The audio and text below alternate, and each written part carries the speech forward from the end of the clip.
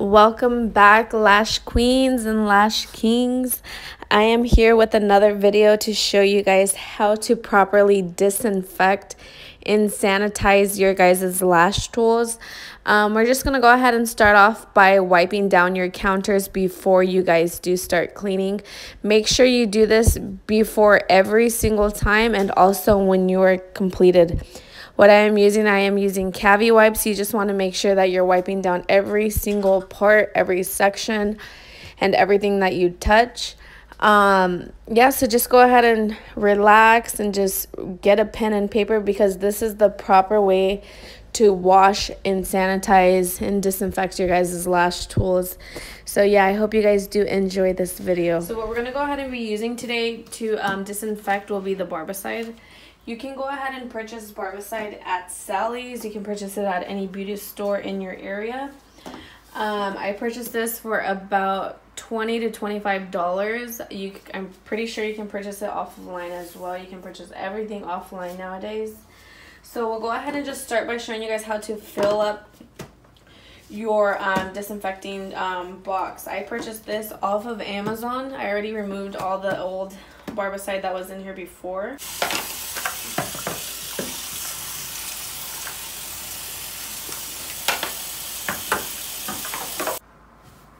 So on the back of the Barbicide, it says to go ahead and use 32 ounces of water with mix 2 ounces of Barbicide. But since we will not be using 32 ounces of water, we will only be using roughly 13 to 16 ounces of water. So technically you divide that, you divide 32 by 2 and that leaves you with 16. So since we're not going to be using um, the full 16 ounces of water. We're only going to be using about 13 ounces of water. We're only going to be using about half of cup of half ounce of barbicide. But I always put one ounce of barbicide into 13 ounces of water. Okay, so we'll go ahead and just start by filling that up with hot water. So this is actually a color applicator. It has listed here the ounces. I also purchased this at Sally's. You can purchase this um, online. You can purchase this at your nearest beauty store as well. So we're going to go ahead and fill it up with 13 ounces. Listed here, showing I only have about 5 ounces in the bottle.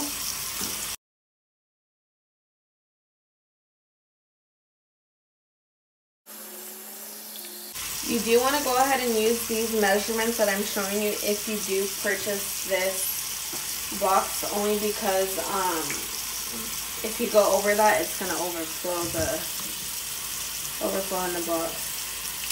So now we're going to go ahead and just put about one ounce of barbicide in here.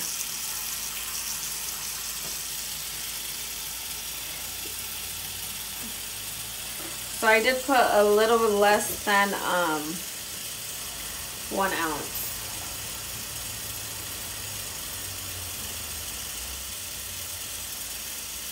And then we'll go ahead and just rinse out whatever is in here.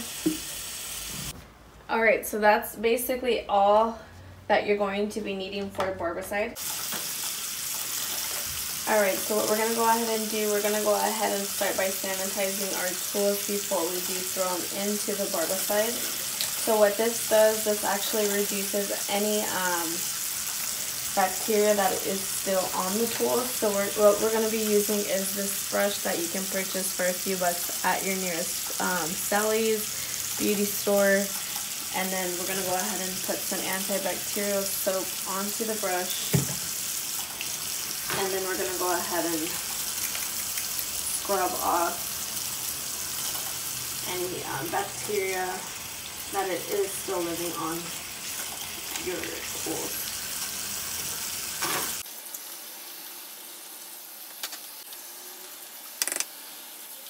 Alright, so now what we're going to do, we're going to go ahead and use uh, your alcohol spray bottle. This is when we're going to go ahead and just spray the tools down with alcohol. And then what we're going to do, we're going to go ahead and transfer the sanitized tools into the barbicide and then that's where we're going to go ahead and let them sit for about 10 to 15 minutes no more than that all right so we're going to go ahead and throw the sanitized tools into the barbicide. And I do go ahead and throw the brush in there as well. Alright, so we're going to go ahead and let that sit for about 10 to 15 minutes. You do not want to let them sit in there longer than that.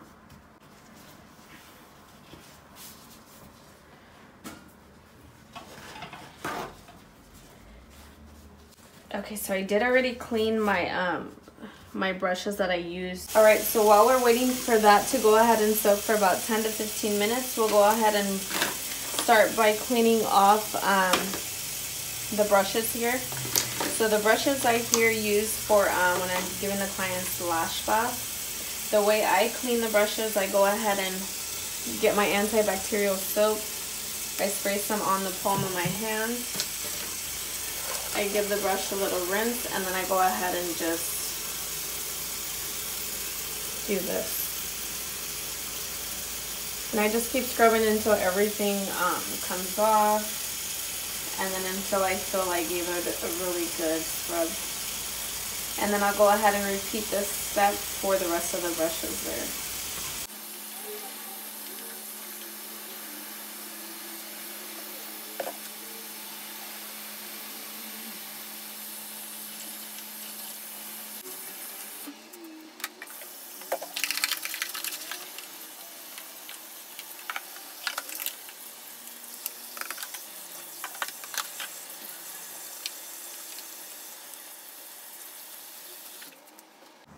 Alright you guys, so it has been about 10 minutes, so I'm going to go ahead and remove the tools out of the barbicide.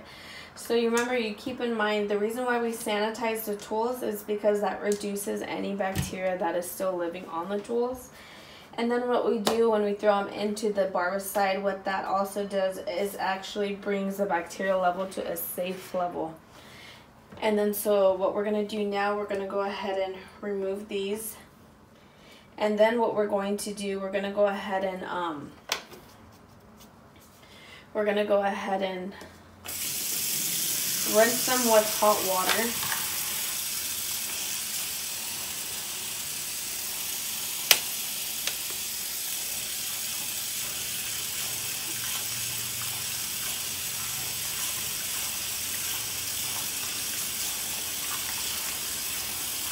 So this is completely clean. So now what I'm going to do, I'm going to go ahead and throw the brush to the side like this. And now what we're going to be using is going to be our sterilizer box here. So this here you can also purchase off of Amazon. I believe I purchased this for about $15. It is a lot cheaper than a lot of the other ones that they have on there. You remember, keep in mind, um, I do do my best to try to keep it in a low budget and also see what are the best products at the affordable rate. So what we're going to do now, we're going to go ahead and give these a nice good rinse.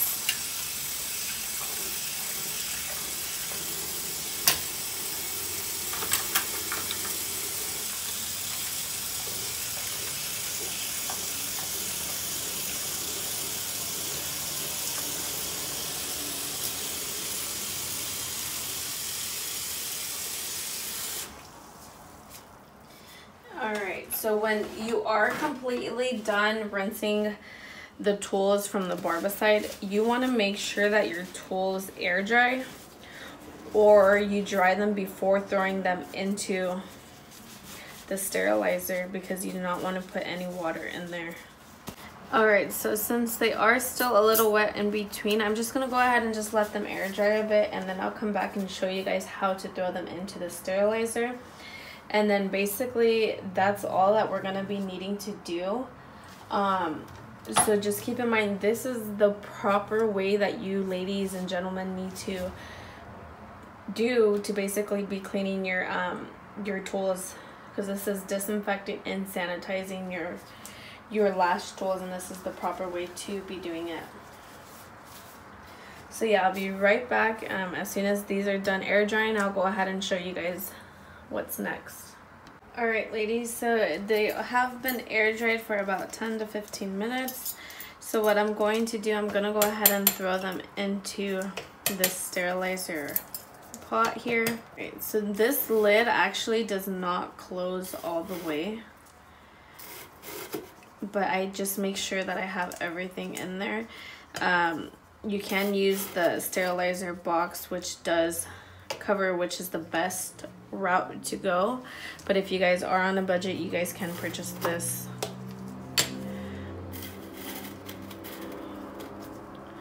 And you just basically let that sit. Once those are done you're gonna go ahead and remove them. I leave them in there for about five to ten minutes. And it, there's not really a wrong or right time to keep them in there because when the pot does get too hot it automatically shuts itself off so it does not let itself go over the certain temperature. So once those are completed being sanitized what I do I do go ahead and get the container and I place them in here and I make sure that I close the lid on the tools because you do not want to leave the tools out in an open area to where anything can jump onto the tools Alright ladies, so my tools are completely done and ready. They're basically ready for the next client. So what I'm going to do, I'm going to go ahead and remove my clean, sanitized, and disinfected tools. And I'm going to go ahead and place them into this bin. We'll go ahead and close this. And they are going to be ready for the next client.